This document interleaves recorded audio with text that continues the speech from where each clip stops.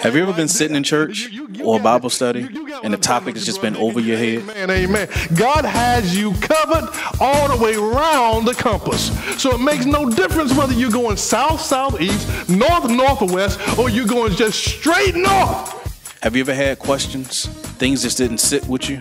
Well, here's your chance to address those topics. Every week, Body of Christ Community Church leaders will give you the opportunity to email your questions and you may have biblical answers to those questions. You can email your questions to Body of Christ Community Church, BOCCC, secretary at gmail.com. Again, BOCCC, secretary at gmail.com. Good morning. It is good to be back in the house of the Lord. Uh, welcome to Body of Christ Community Church, uh, our 10 o'clock service on this uh, Memorial Day weekend the weekend that we, uh, in America, we've set aside to memorialize, to remember those who have fought for this country, given their lives. And so we are grateful, very grateful for those sacrifices where we can come, we can be free, we can speak about God and the Lord Jesus Christ and his saving power without having any fear of retribution. Uh, many people have died for that. Many have served in the military and yet are alive. Some have uh, given up body parts and limbs. Uh, some are suffering from some mental issues. All of that, uh, we are remembering those people today. And not just those, but we are also remembering uh, many of our uh, first responders. And I think because of what we've been through over the last year, many of us are also remembering many loved ones and friends who have um, succumbed to uh, this current pandemic, COVID 19. But in the midst of all of that, including all of that, we want to remember God. Uh, he's the one who has made us. He's the one who is sustaining us. He's the one who loves us, loved us to the extent that he um, came in, in the form, in the likeness of sinful flesh and he, in the flesh, condemned sin. And so we are grateful and we remember his sacrifice. We remember his continual uh, presence with us in the Holy Spirit. And as you can see, I'm opening up this morning. I guess that's because with this being Memorial Day weekend, many people in America, this is where we start our vacation time, what people call vacation here in America, but in Europe they call it holiday. And so uh, it's one of those things where people are starting their vacations, and that's fine. I am glad to be uh, here in the house of the Lord with those who are here. We were hoping to have more people this morning, uh, but I think uh, Bedside Baptist, Pillar Presbyterian, uh, Mattress Methodist might still be in holding on to some folk because it's raining outside. But nevertheless, we are here and we are going to praise the Lord. Would you um, go with me to Psalm number 70. Psalm number 70. This is our scripture reading for this morning. Psalm number 70. Um, David is the author of this psalm, and he writes God, hurry to rescue me. Lord, hurry to help me. Let those who seek to kill me be disgraced and confounded. Let those who wish me harm be turned back and humiliated. Let those who say, Aha, aha, re- retreat because of their shame. Let all who seek you rejoice and be glad in you. Let those who love your salvation continually say, God is great. I am oppressed and needy. Hurry to me, God. You are my help and my deliverer. Lord, do not delay. And let's continue in prayer. Father, we thank you that we can call on you. We can read such words from David, and knowing that we can call to you and you can uh, come in a hurry. Though the wicked around us seem to be prospering, we know that you are still in control. We know that we can call out to you. Even in the midst of our distress, we can still rejoice we recognize you as God and God alone, the one who is in control of everything and who makes all things come out for our good according to your word. Father, we pray today that as we uh, enter into this worship service, that you would be in our midst to receive our worship, to hear the words uh, that we give to you in praise from song, from testimony. And Lord, as we listen to you uh, from your word, I pray that you would speak to my heart as uh, we bring the message for today. We ask all of this in Jesus' name and for his sake. Amen. Paris Sessoms is going to come and provide us with some music.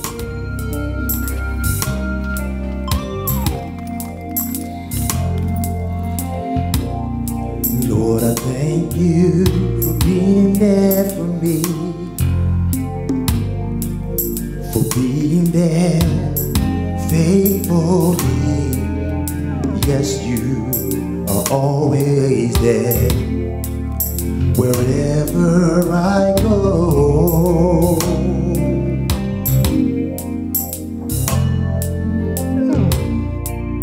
You've always stood by my side. Lord, you've always been my guide. Yes, you are always there wherever I go.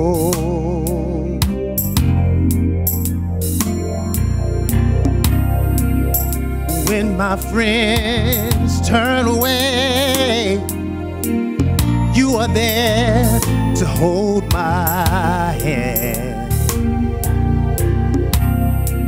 And you understood my funny ways. So I'm here today just to give you the praise through, through heartaches and pain, through the storm and through the rain. You're always there, Jesus, wherever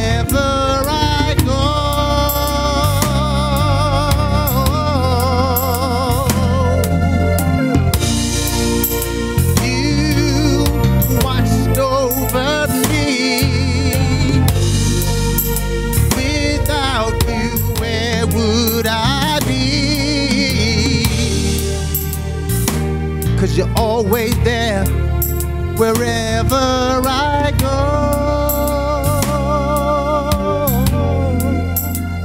Sometimes things don't go well,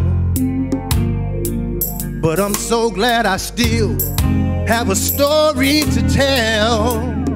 Cause you're always there for me, Jesus, wherever I go.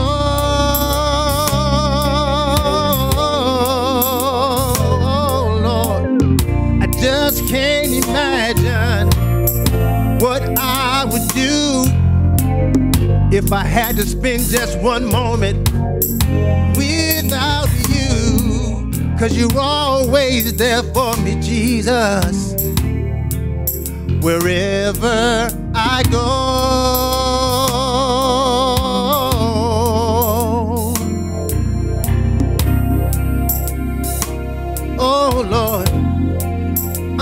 Thankful, Jesus, cause you were there to hold my hand.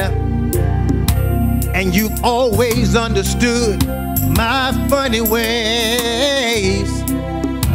So I'm here today just to give you the praise through, through heartaches and pain,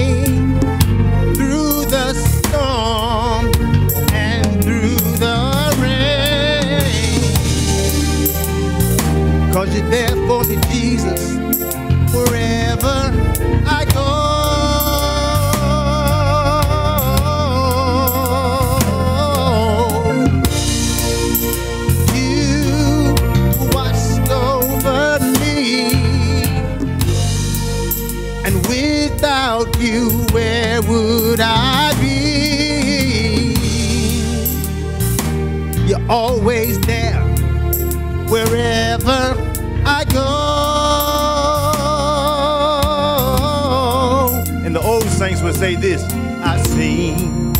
the lightning flashing. I've heard the thunder roll. I felt sin breakers dashing, trying to conquer my soul.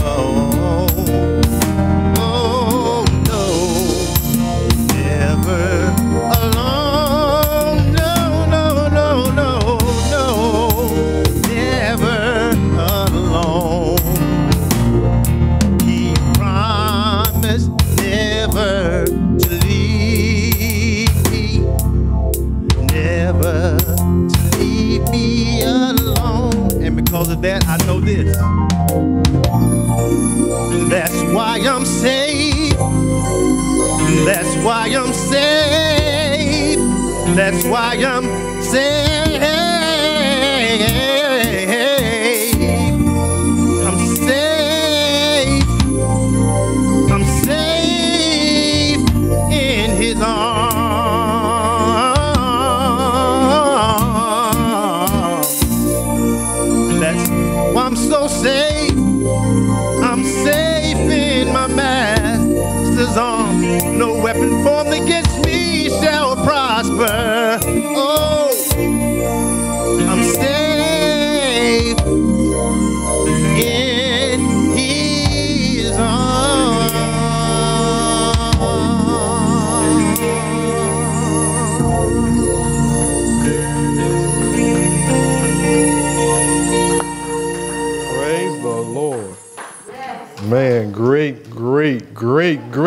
song set this morning, uh, Paris. Great songs to usher us into the presence of the Lord, realizing that we are safe in His arms. Yes. He'll never leave us alone.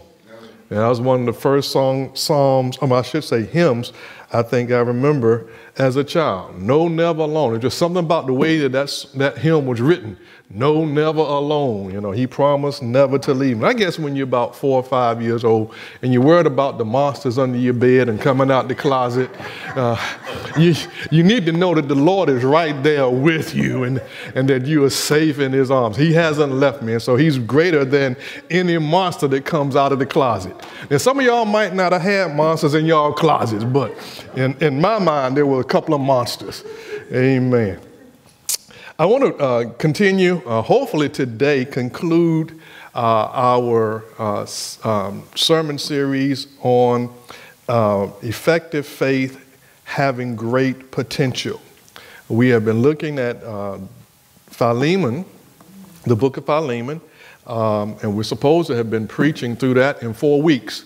Well, we got to verse 6 and got kind of locked up here in verse 6 for perhaps the last six months.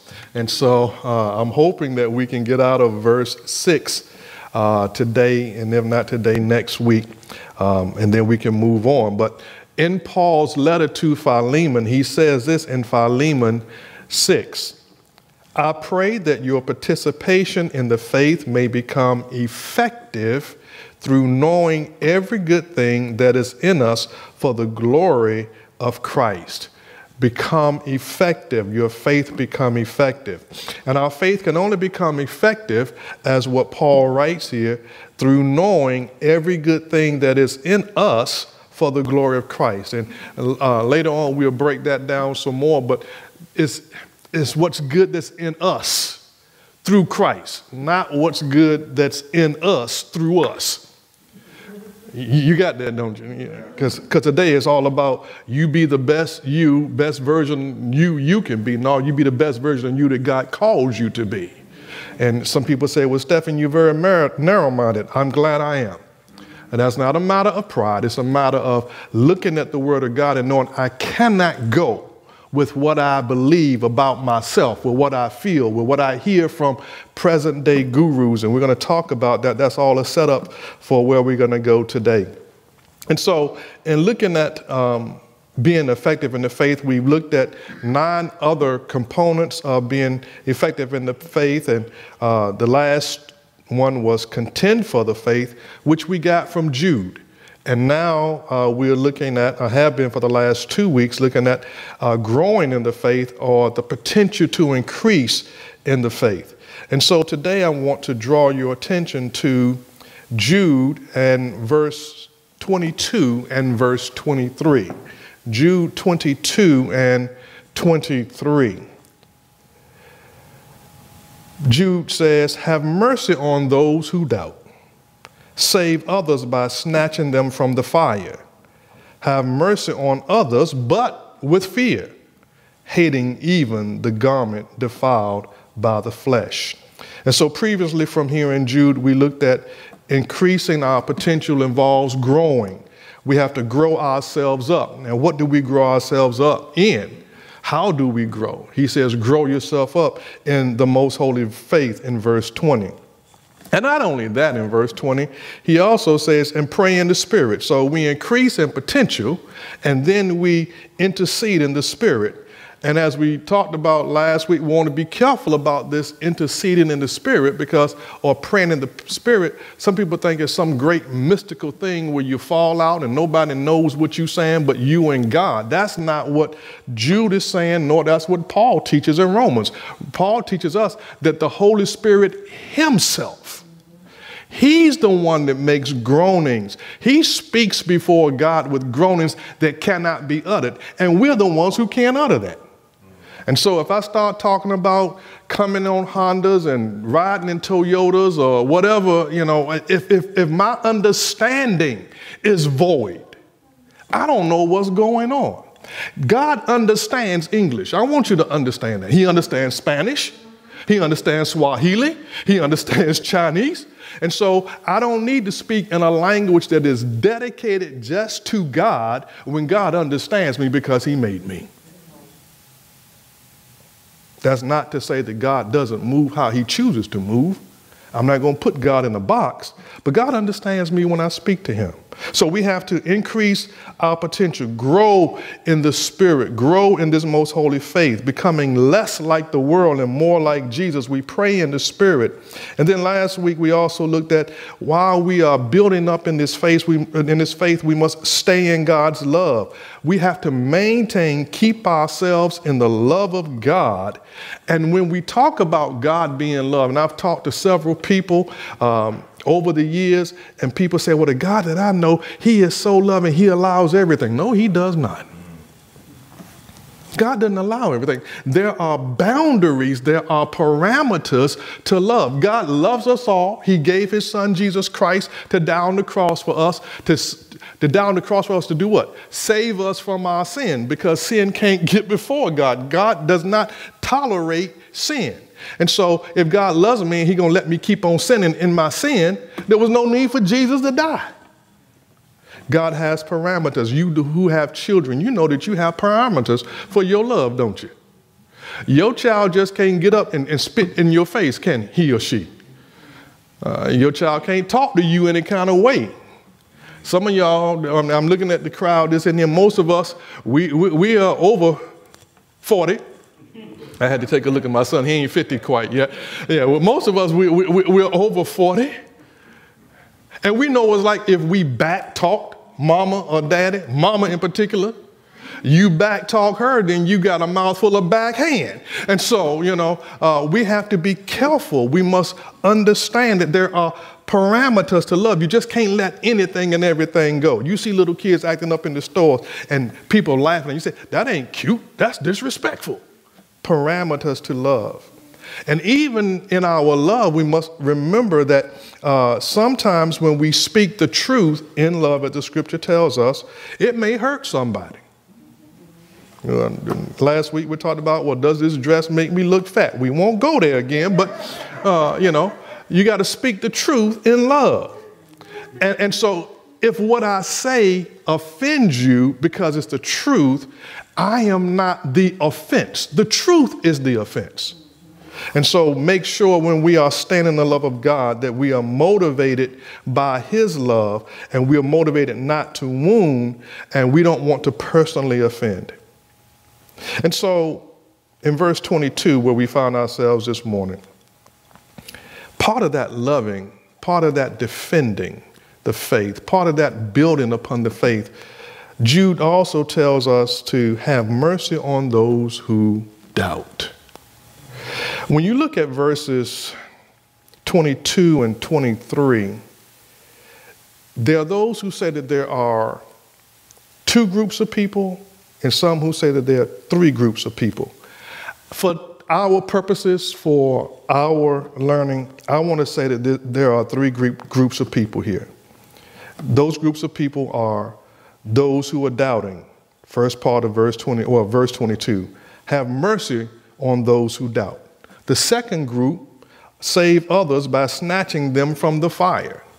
And the third group, have mercy on others with fear, hating even the garment defiled by flesh. The first and the third group are easily defined. That second group is not as easily defined as to who they are, whether they are believers or whether they are unbelievers or whether they are persons who previously believed and now they are uh, doubting and they have turned away from the faith. Those are the disbelievers. Let's take a look at this. Let's pray and then we'll take a look at unpacking those two verses at least for today. Father, we pray that you would be in our midst. You would be the preacher on today. You would be the teacher. Lord, uh, I pray that your word would find free course in everyone who is listening so that we would know how to defend the faith, how we should grow in the faith, how we should honor you, and how we should truly spread the good news of the gospel of Jesus Christ. This we ask in his name. Amen. Jude says, Have mercy on those who are doubting, those who are wavering. In the church body, there are people who believe, but there are times when, they, when their faith wavers. You ever had your faith waver? You ever wonder, well, God, why? I can't, I can't quite go with you on this. Help me, Lord, uh, as the psalmist was praying this morning in that in Psalm that we were reading. Lord, help me to understand. Have mercy on those who are uncertain. Have mercy, have compassion on those who sometimes are unwilling to receive truth. Have mercy on those who are uncertain about it. You ever talk to some believers and you're like, you ought to know this by now? Why are you still talking why are you still acting, why are you still wondering? When we get frustrated like that, then we have moved away from love, and now we are moving into. Remember, we talked a few weeks ago uh, when it comes to judging, we are supposed to judge, but when we judge, we are not supposed to condemn. And so when we have an attitude like that, we're becoming very close to condemning someone because they're not where I am. Who says you've arrived yet? In the midst of defending the faith and addressing error and building up ourselves in the most holy faith, we have to know and we have to understand that there will be some who will doubt, some who will waver. Um, even in the church, there are those who will become swayed by false teachers. I can't tell you the number of times over uh, this pandemic I have talked to people who are believers, and to hear them say what they are saying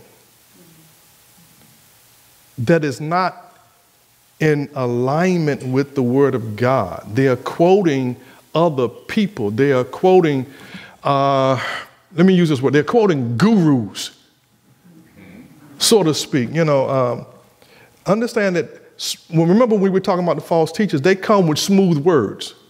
They come with half truths. They come with something that's close to the truth, and that's designed to lead you astray. So people can become swayed by false teachers.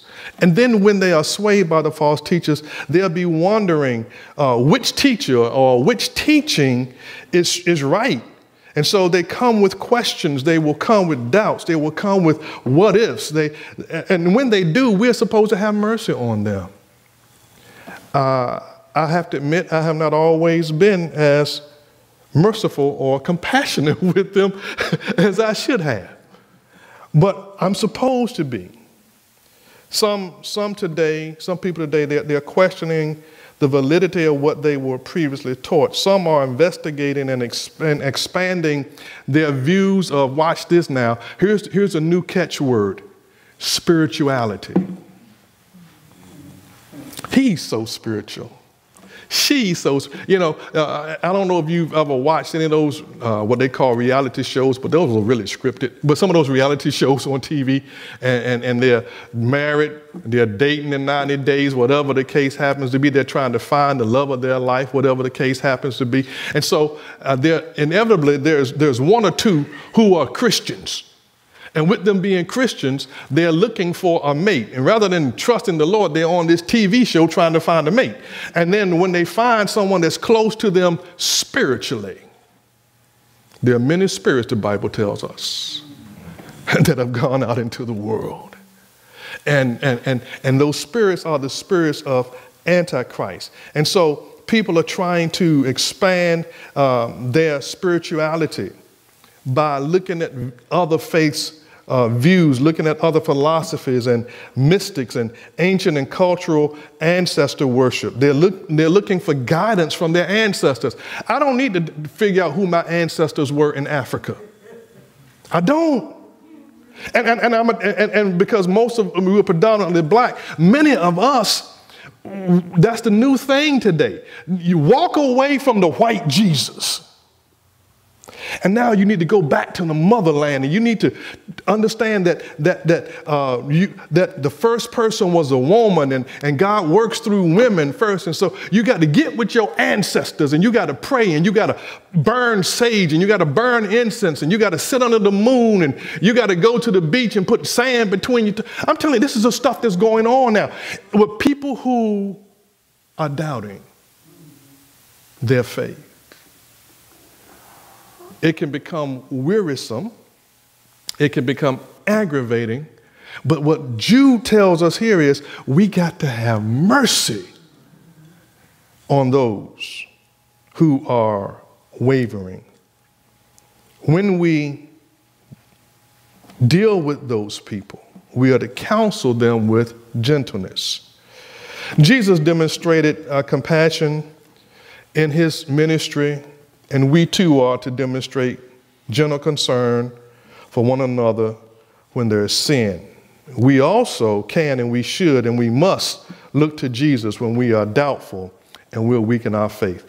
Let's take a look at three passages real quick. Matthew chapter 9, Matthew chapter 9, verses 35 and 36. Jesus, uh, when he was on the earth, when he walked on the earth, Matthew records this. He says, Then Jesus went to all the towns and villages, teaching in their synagogues, preaching the good news of the kingdom, and healing every disease and every sickness. And look at verse 36. And when he saw the crowds, he felt compassion for them. Why? Because they were weary and worn out like sheep without a shepherd. People who are searching for the right answers, people who are searching for the truth, though they may be searching in the wrong place, they get weary, they get worn out. Jesus saw this and he was there with his people, the Israelites, and he saw that they were like sheep without a shepherd. In Galatians chapter 6, verses 1 and 2, we find these words. This, this helps us to guide us to be merciful to those who are wandering, for those who are doubting. Brothers, if someone is caught up in wrongdoing, you who are spiritual, I ain't talking about this mystic stuff, but we're talking about those who are spiritual in Jesus Christ. You who are spiritual should do what? Restore, bring that person back. Such a person, how? With a gentle spirit. But you also need to be watching out for yourselves so you won't be tempted. Don't sit there and listen to what they are saying and get caught up in what they're saying. You start assimilating. You start, oh, well, yeah, well, I, now that I think about it, uh, yeah, God really didn't say nothing about that, did he? Don't, don't, don't get tempted. Verse 2 tells us to do this carry one another's burden, and this is how you will fulfill the law of Christ. In Hebrews chapter 4, starting in verse 14, Hebrews 4 14, the writer of Hebrews encourages us. Therefore, since we have a great high priest who has passed through the heavens, and so that there is no doubt who this great high priest is, he tells us who the great high priest is Jesus, the Son of God. And since Jesus is the Son of God, and since he's passed through the heavens, then we need to do what? Hold fast, hold on to our confession of faith. Don't let go of what you know and who you know is truth. I don't know who my ancestors were, and I can't trust my ancestors to guide me into all truth. The Holy Spirit is who does that. If one of my ancestors, great, great, great, great, great, great, great, great, uh, ancestors from whatever part of Africa that my, my heritage comes from, if they were to show up, then I would know that I ought not to be listening. This is just me because I put my faith in Jesus Christ, not in one of my ancestors. I don't need somebody from the dead to come back and confirm something to me. I've got the Word of God and I've got the Holy Spirit living within me. The only one that, that died and came back again that I trust, his name is Jesus. Verse 15 says, For we do not have a high priest who is unable to sympathize with our weaknesses. Notice this. He, he sympathizes with our weaknesses. But this one, our high priest, is one who has been tested in every way as we are. What's the difference? Yet without sin. One of my ancestors, or many of my ancestors, might have been tested. But you know what? Everybody that has been born has sinned except for Jesus. He was tempted, he was tested, but he didn't give in to the sin. So I can hold fast to my confession in him. He didn't sin. Verse 16 says, Knowing all of that, then, let us approach the throne of grace with boldness, so that we may receive mercy, we may find grace to help us in the proper time, or as the King James says, in the time of need. When I'm wondering, when I'm, I'm doubtful, when I'm conversing with others who are doubtful, then I need to rely upon Jesus. Go to the throne of grace, go boldly, go uh, confidently, knowing that He's got the answers. And if He doesn't give me the answer right then, what do I do? Make up something? No, just stay quiet. Just stay quiet. You don't have to answer everything somebody asks you. You know that? Amen. People, people will, which one came first, the chicken or the egg? Well, if you, since you asked me that question, I'm going to tell you the Bible says that the chicken came first. Because God made the chicken. Well, how did he do it? I don't know. Only thing I know is the Bible says he spoke. Now, if I'm gonna if, if I'm gonna believe in a God or in a deity that has created all things, He's not beholden to explain everything to me. He's created me, and since He's created me, I don't have to worry about all of the questions I may have. Because one day, when we leave here, you know what? People say, well, all my questions will be answered when I get to heaven. I'm not too sure about that. Because I don't know if it's going to matter. will it really matter? So happy to be there. So we have to have mercy on those who are doubting. Now, this second group Jude says, for those in verse 23, he says, save others, deliver some, make them free from harm or evil by snatching them from the fire. This may be referring to unsaved people, especially when he says fire, because we know fire represents judgment in the scripture from God. But also, it may represent those believers who, who play with sin. Y'all know what I'm talking about. They want to find out just how close to the edge I got my feet hanging over the edge. Now I got half of my foot hanging over the edge. Now I got the front half of my, whoa, I'm starting to teeter totter here. So what does Jude say? Jude say what you need to do is you need to snatch them. When you see folk getting close to the fire, you need to snatch them.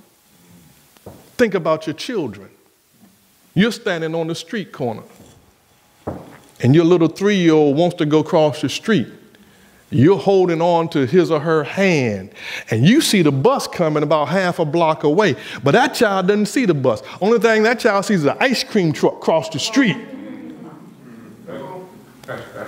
That child pulls out of your hand and what do you do? You grab and you snatch anything, if it's his head, if it's the back of his shirt, you don't, because you are trying to rescue him. Those who are on the edge, they can't balance themselves. If we love them, since we are staying in the love of Christ, we need to snatch them back. But you hurt me. I'm sorry I hurt you, but I saved your life. Ain't that what you said to your child? No, not that. No, we know. Boy, you better shut up. That, but see, that's not mercy. Again, we got to do this with mercy. Ah, we got to say, son, daughter, you didn't see that bus, but because I'm your daddy, because I'm your mama, I saw the present danger. There are some believers who are right on the edge, and we need to bring them back. They are, they, they are in close proximity of real danger. And so we need to deliver them by snatching them back. For them, as I said, it may not feel good at the time but the situation necessitates urgent, immediate rescuative action. What's rescuative action? I'm going to rescue you. I might, I think I made that word up because it shows up in, it shows up in, in, in, in, in Word with a little red squiggly line under it. It, it doesn't recognize that word. It said that's misspelled. Ain't no such, but, but we have rescuative action. We've, given, we've been given rescuative responsibility to snatch people from the fire. They're getting close. Now, this third group, there's no doubt about who this third group is. This third group the Jude says that we're supposed to have compassion on others, have mercy on some, save some. Now, have mercy on others, but with fear, hating even the garment defiled by the flesh. It's hard to try to um, reconcile love and hate at the exact same time but it's necessary. It's necessary because if I love God and if I love people, then I must hate sin. Did you get that?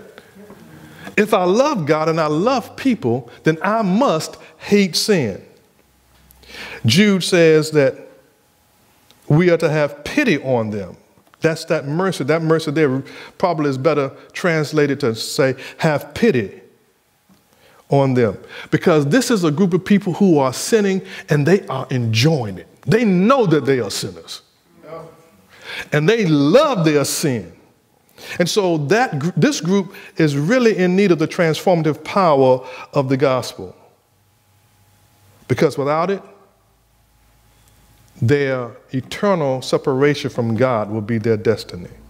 Look for me in Acts chapter 17. Acts 17, verse 26. For one man, he has made every nationality to live, I mean, sorry, from one man, he has made every nationality to live over the whole earth.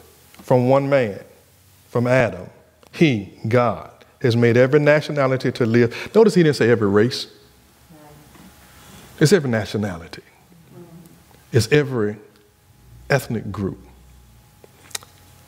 The word race is something that was made up to keep us separated from each other, to make one group superior than the other. I don't even like using the word race anymore. When they talk about racial justice, critical race theory, I, don't want to use the word race because God don't look at us as racists. He, he looks at us as people whom He created. We are from ethnic groups. So that which is formulated to help separate us. I am trying to stay away from. You do what you want to do. I'm just saying where I am. Remember we talked about preferences? That ain't gonna cause me to fall out with you if you use the term. I'm just not going to if I can avoid it. So from one man, he has made every nationality to live over the whole earth. And watch this now. He has determined their appointed times and the boundaries of where they, where they live. Verse 27. He did this so that they might do what? Seek God. And perhaps they may reach out and find him, though he is not far from any one of us. No, never alone. He's close by.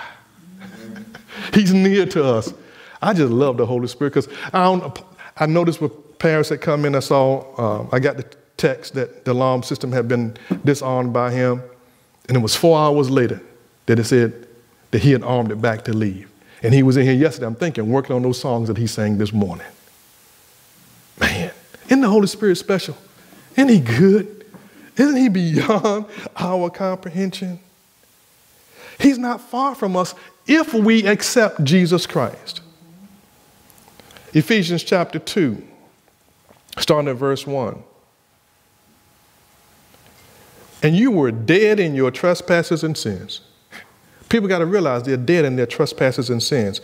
And now, watch what Paul says to the church of Ephesus, in which you previously walked. He's talking to believers now. You previously walked according to the ways of this world, according to the ruler who exercises authority over the lower heavens, the spirit now working in the disobedient. We too all previously lived among them in our fleshly desires. And in our fleshly desires, what were we doing? We were carrying out the inclinations of our flesh and thoughts. If it popped in our head, we did it. Some of y'all who hadn't been saved a, a long time, some of you who have didn't get saved until your adult years, you knew that if you thought it and you wanted it, you went after it. I did it. Aren't you glad that God changed your mind? And that when He saved your soul, it wasn't just saving some emotional part, He saved all of you, He saved your mind. So now you have a hard time thinking about trying to remember where you used to be. On Memorial Day, you don't want to remember where you used to be.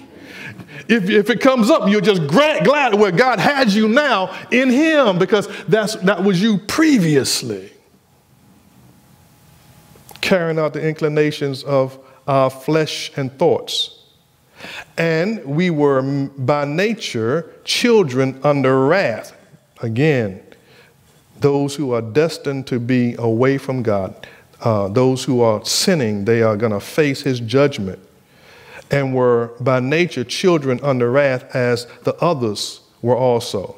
I like verse 4 and I like the first word in verse 4. But, then the second word, really special. But God, who is rich in what?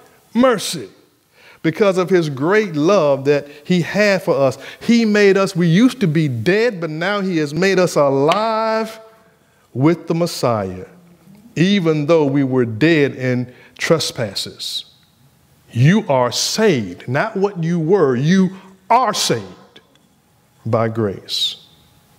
Jude tells us that we have to, with fear, pity this group because they're destined they're destined to be eternally separated from God. Not only should we fear their destination, but we should be hating the garment. And when Jude talks about the garment, I have on this shirt today. And I was going to just wear this shirt today. But this shirt is big. It's a 2X. And I'm stuck somewhere between a, a, a large and an X. But with a 2X, you see all this room in here? It's a lot of room. So I said, well, I just kind of wear it like a jacket, make it look like a jacket. And so then I put on a second layer. I put on this black shirt because my wife has on black and brown. And so I said, well, I can have on brown, but I need to have on some black. So I put on a black shirt over top of that. Y'all, y'all, y'all, y'all don't know, but underneath this, and I'm not going to take this off, but, but underneath the black shirt, there's a tank top. Some people call it wife beaters. And that's not what I'm going to call it because I'm still standing here, so you know it's not a wife beater uh, in my house. Y'all know where I'm coming from, don't you? Yeah, yeah. But, but, but when my wife does the laundry, because this wife beater that's underneath here is close to my skin. And why do you wear a t shirt or an undershirt under your good clothes? Because you don't want the oils and the soil and the sweat from your body to get on your good clothes. But you, have you ever noticed that, that on a day that you really work hard, that when you take your t shirt, I'm not talking to the guys because women don't wear t shirts like we do. They got two or three other things on there. We won't even go there. But you ever notice on those days when you've been out there working that your t-shirt, your inner garment, your tunic, that's the word that, that Jude uses here. It's the garment that's closest to the skin. He says it's, it, it is filthy. It's soiled. It's with sin. Now, now I could hide. I could have taken a t-shirt out the hamper put underneath my black shirt, put underneath my, my brown shirt, and you wouldn't have known the difference on the outside, would you? And that's the way unsaved folk are. Sometimes they appear good. And they want to tell you that they're good. They say, well, ain't nothing wrong with me. I, am not a sinner. But what did we just read? They were, and all people were sinners. But, but we got to be careful when we are having pity on them that though we get close to them, what Jude says, but you need to fear. You need to be afraid of the garment that's on the inside.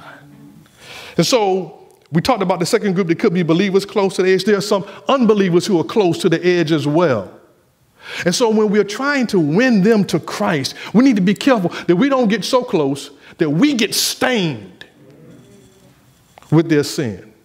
Some of you have co-workers, you got friends, you have family members, and you know that if without Christ, if they were to die right now, as the old preacher used to say, they will bust hell wide open. You know that's the case. But in your attempt to win them to the Lord, don't get so close that you start wearing their underclothes. Don't get so close that you become stained with their sin. Don't become marred and marked or discolored by the flesh. Because they're going to start telling you all kinds of reasons why they shouldn't come to the Lord. And sometimes, because of where we are today, it's, it's just amazing to me. Uh, maybe because I'm, I'm, I'm, old now, I'm in my 60s, 60s. I hear stuff. I'm like, where are people coming up with this? It's nothing new, I understand that, but because I've been in the church all my life, I've, I've been in Christ since I was six years old, and I'm just like, how do people reckon, how do they, what?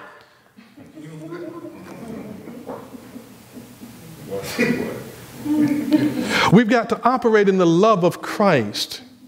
We have to fear getting stained by the world to the point that we must hate it. We can't play around with sin. Well, it ain't too bad, just a little bit. You know, all he took was some penny candy, but he still stole. This dress make me look fat? No, baby, you all right. It's just a white lie. Where does the Bible say anything about white lies? Turn with me to Romans chapter 1. And I know that in Romans 1, we use this quite a bit to talk about um, homosexuality, lesbianism. But I want to show you something that people really overlook in this passage. Romans chapter 1, verse 18. And let's, let's, this is why we should hate those soiled undergarments.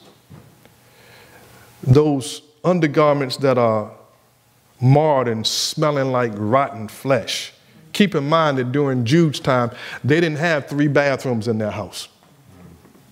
They didn't have Dove and, and uh, uh, uh, English leather. They, they, they, going back, huh, Mark? Going back a long way, huh? See, I even said like we used to say when we were kids, rather than English lather, we, we call it English leather, you know. They didn't, have, they didn't have those kind of smell goods. They might have washed them their clothes once a month, and that was, on that was in a good year. Come on now. I would tell you why women walk down the aisle with flowers, but that's for a different time. In Romans 1:18, notice what Paul says. For God's wrath, his judgment is revealed from heaven against what kind of ungodliness? All of it. All ungodliness and unrighteousness of people who, by their unrighteousness, you're going to see, let me say, say this real quick. You're going to see here a kind of a cause and effect. A cause and effect, then another cause and another effect, sort of like going around in circles here as Paul is writing in this passage. Here is first the effect, so to speak, in, in, the first part of 18, God's wrath is revealed from heaven against all ungodliness and unrighteousness of people who, by their own unrighteousness, what did they do? They suppress the truth. They keep the truth down. Well, they didn't know the truth. Nah, that's not true. Look at verse 19. Since what can be known about God is evident among them. What could be known about God was already among them because God has shown it to them. For his invisible attributes, that is, his eternal power and divine nature, have been clearly seen since when? The creation of the world. being understood through what he has made. The world, the, the, earth declares the glory of God. What he has created declares his glory. It's been clearly seen. And so the next sentence, Paul says, as a result, people are without excuse. For though they knew God, he's going back to that premise, they knew God by what God revealed to them. What did they do? They did not glorify him as God or show gratitude. That's, that's what they were doing wrong. Instead, here we go with this mind thing, their thinking became nonsense. You ever talk to some people and you're like, what in the world are you talking about? I mean, I'm talking about spiritual matters, talking about the Bible. What are you talking about? It's, it's, it's, it's, it's nonsense. But to them, it is so profound. And their senseless minds were darkened because they refused to keep God in their thinking. their senseless minds have now become darkened. Claiming to be wise, they became fools. That's judgment from God. Since you claim to be wise, God said, You want to be a fool? Okay. And exchange the glory of the immortal God for images resembling mortal man, birds, four footed beasts, and reptiles. So, verse 24 says, Therefore, God delivered them over. There's his judgment. What did he deliver them over to? Part of their judgment is what they had been doing the whole time. In the cravings of their hearts he gave them over to the cravings of their hearts, to sexual impurity, so that their bodies were degraded among themselves. They exchanged the truth of God for a lie. What else did they do? They worshiped and served something created instead of the Creator who is praised forever. Amen. It's almost like Paul had a praise break, break right there. You know, he created everything. Amen. Praise him. Verse 26 this is why God delivered them over. Here's the ju- this is why the judgment came to degrading passions. For even their females exchanged their natural sexual relations for unnatural ones. The males, in the same way, also left natural relations with females and were inflamed in their lust one for another, males committing shameless acts with males, and received in their own persons the appropriate penalty of their error. And that's where many of us stop because we just want to beat up on homosexuals. But then the scripture says, have mercy. Have mercy. Show pity. Don't get caught up with them, but show pity. Look at verse 28. And because they did not think it worthwhile to acknowledge God. That's their problem, that's their sin. Here's God's judgment. God delivered them over to a worthless mind to do what is morally wrong. Here's part of that judgment still in verse 29. They are filled with all unrighteousness, evil, greed, and wickedness. They are full of envy, murder, quarrels, deceit, and malice. They are gossips, slanderers, God haters, arrogant, proud, boastful, inventors of evil, disobedient to parents, undiscerning, untrustworthy, unloving, and unmerciful. That's a whole lot of sins he just mentioned there other than homosexuality, didn't he? We want to, we, we, we, we, we want to condemn the homosexual, the homosexual, the lesbian. We should condemn their sin absolutely, because God condemns the sin. We should work to, to bring them to the Lord, to present Jesus to them. But how much time do we talk about greedy people? What about the gossips? What about people that just are full of envy and they, uh, they quarrel all the time. What about people who just love deceiving other folk? Folk that you can't trust no farther than you can throw them. See, we, we, we want to we wanna hunt and pet cherry pick sin. Paul listed a whole lot right there. Are, are, we dealing with those people? Are we trying to snatch them? Are we not getting so close to them that it's not rubbing? You know, if you hang around with a gossip, you'll start gossiping. So now that that that, that inner shirt is the rubbed off on you. Look at verse 32. Although we know full well God's just sentence, here's that here's why we should pity them. This is why we should pity them. That those who practice such things deserve to die. They not only do them, but even applaud others who practice them. I, I, as I think about that, I, I think about where we are today and I'm, I am going to use LGBTQ, whatever else alphabet they want to use there. Because in the church today, there are many who are talking about the love of God, overlooking people's behavior that is sinful. And church folk, Christians, are now applauding sin. They are, ex- when you applaud, that's acceptance, right? When, when somebody sings a song, when Paris sings and he does well, we applaud him. When I sing, I'm the only one applauding. I'm accepting of myself, but nobody else, because it wasn't good. We need to stop Stop applauding sin. Let me finish with these real quick. Pity those because of what their fate is. Pity sinners because of what their fate is. Yet we need to be in fear. We need to be in fear that we don't get involved with their sinfulness.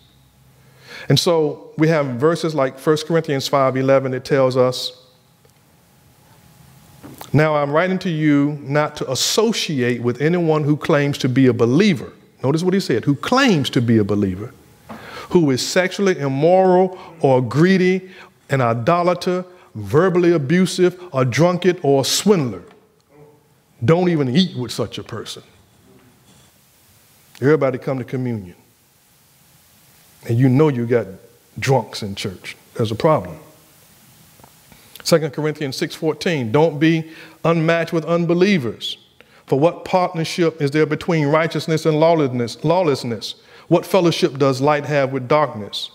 Ephesians 5:11 Don't participate in the fruitful works of darkness, but instead expose them. Mm-mm. For it is shameful even to mention what is done by them in secret. 2 John 9 and 11 if anyone who does not remain in Christ's teachings but goes beyond it does not have God.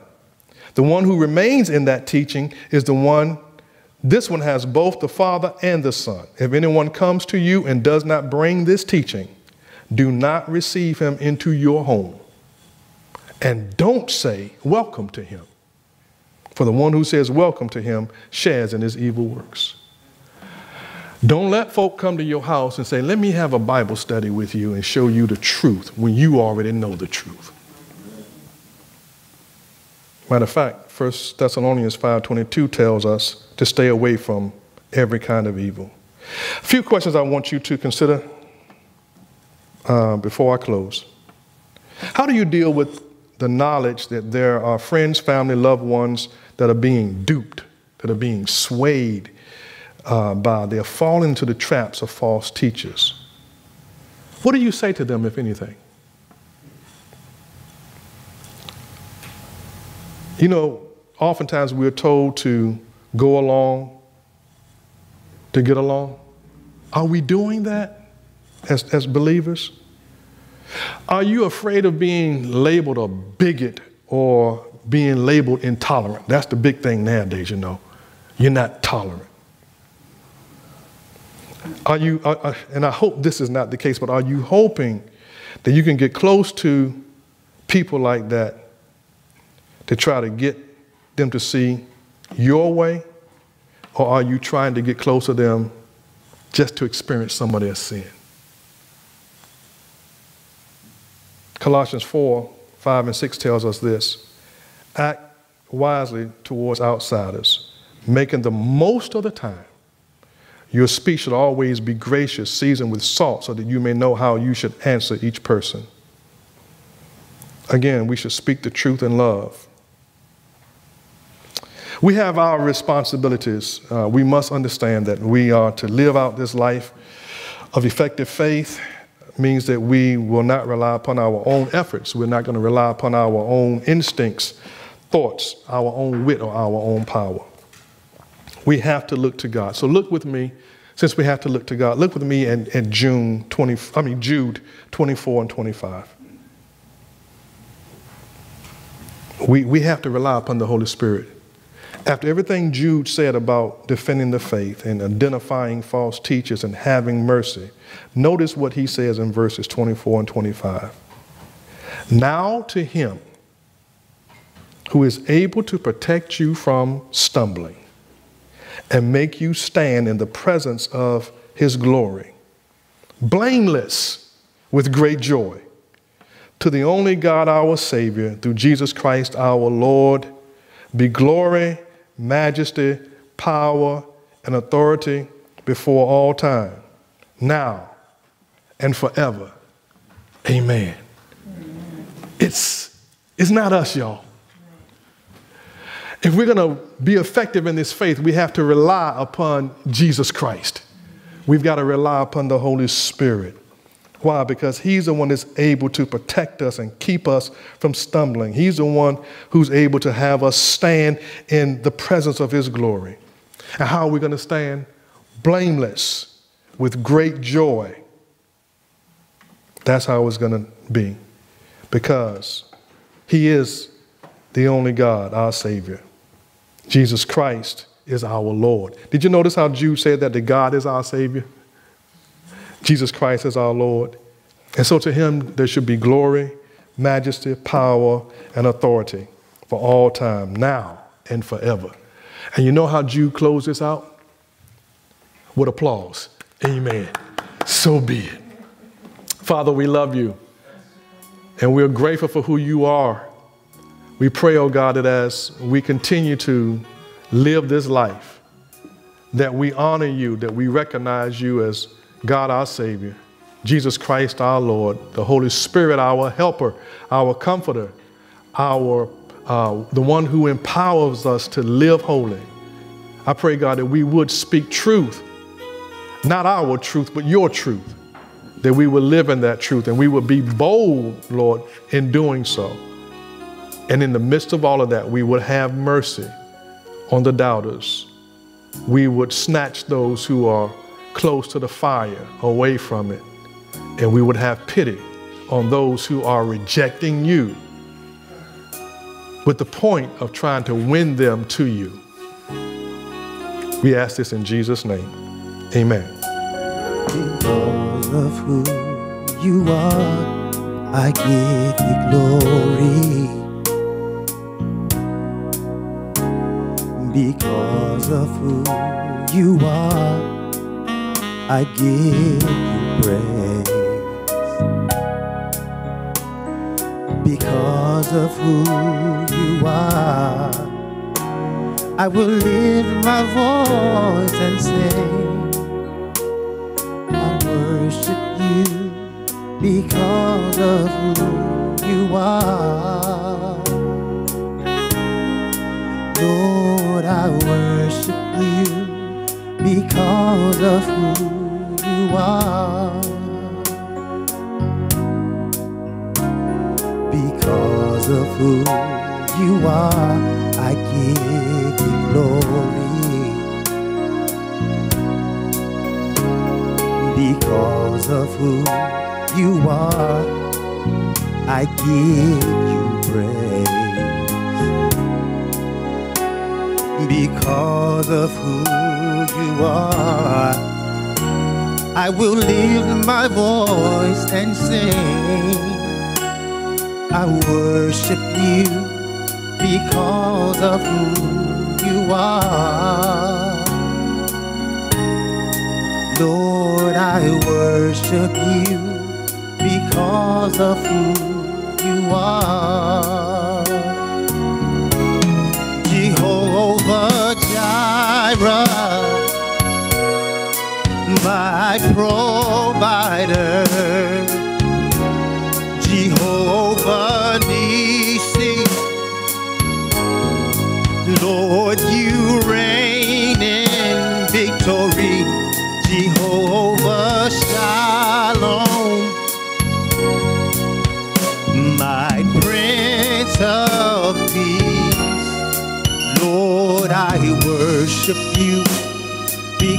because of who you are. Yes, I worship you because of who you are.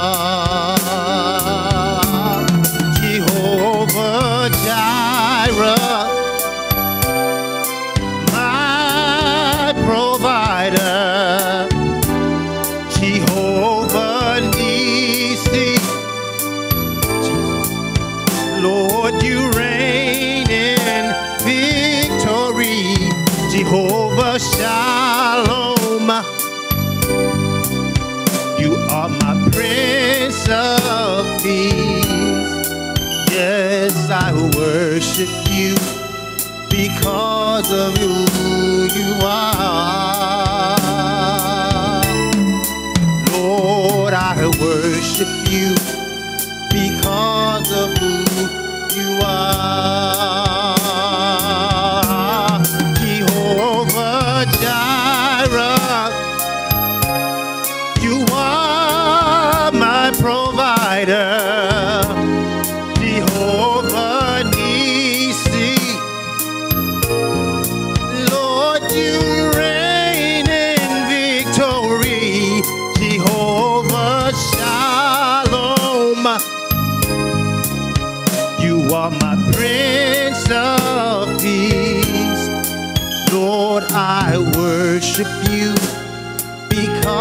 of who you are.